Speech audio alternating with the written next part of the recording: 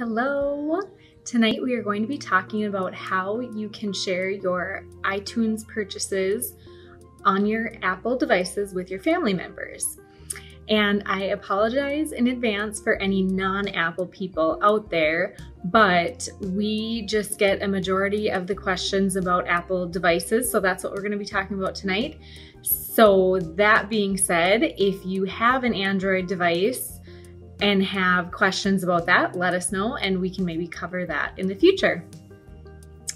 So, when you are sharing purchases with your um, with your family through iTunes or the App Store, you are first going to have to set up a family sharing group. So I am going to share the screen and we will walk through how you get that set up, how you invite family members, and what you can do from there.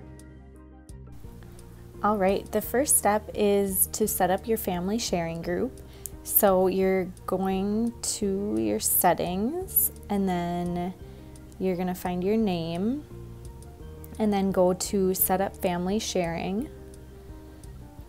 And then if you haven't started this yet, you are going to get this screen. So you just tap get started and then you can pick any of the items that you're going to want to share. But for now, we're just going to go to iTunes and App Store purchases. So this is going to walk you through um, getting your account confirmed. So go ahead and do all that. And then once you are able to confirm your account, you'll get to this screen um, where you can invite your family members. So go ahead and tap on invite family members.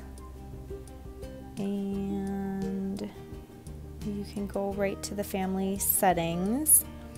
And here you can pick add family member and um, choose which method you want to invite them. Once you have your group set up, your family members are invited and they have joined, the next step is to actually download the purchase content. And um, it took me a while to figure this part out when I was setting up my family sharing a while back. And to be honest, I had to actually go look this up because it wasn't where I thought it was gonna be.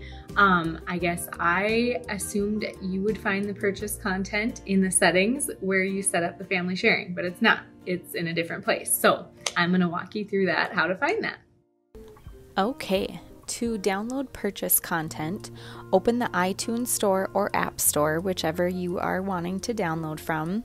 Here we are going to the iTunes Store, and on the bottom menu bar, we're going to find purchased. So if you are on an iPhone, you might have three dots in the bottom right corner that says more. You'll want to go there and then find purchased. And once you are on the purchase screen, you will see family purchases with your group members listed under. So you just choose the family member you want to download from and then find the content. And that's it. So there you go. Pretty easy, right? Once you get it figured out. Um, since we just went through a lot of information in a short amount of time, we will post some helpful links in the comments, and that way you can learn more about family sharing. And um, actually, the Apple website has some really great information and step by step instructions that make it easy to learn about these types of things. So, um, follow the links in the comments, and that's all for now. Go ahead and get sharing.